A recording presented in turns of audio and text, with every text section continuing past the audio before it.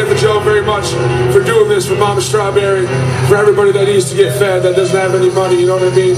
We've all been there, so hope you all appreciate where you're at right now.